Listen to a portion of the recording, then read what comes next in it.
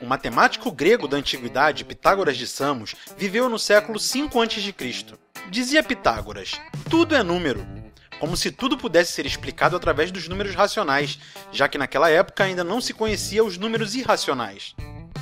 Entre outras coisas, Pitágoras demonstrou o que ficou conhecido como Teorema de Pitágoras, a saber, num triângulo retângulo, a soma dos quadrados dos catetos é igual ao quadrado da hipotenusa.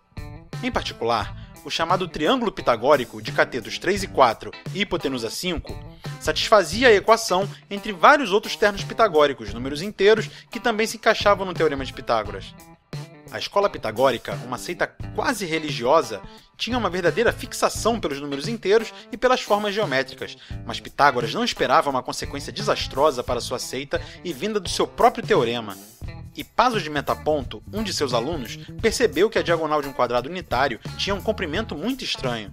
Era um número desconhecido da comunidade pitagórica, era a raiz quadrada de 2.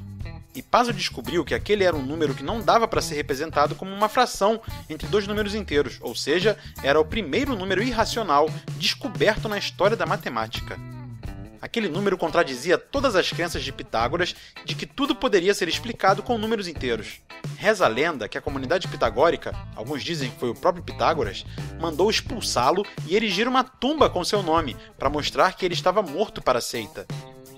Outra versão dá conta que os pitagóricos lançaram o pobre Paso ao mar, afogando-o a ele e aos números irracionais, numa atitude totalmente irracional. Inscreva-se no canal Minuto Matemática e assista ao vídeo anterior, onde eu falo sobre o π e o número da besta.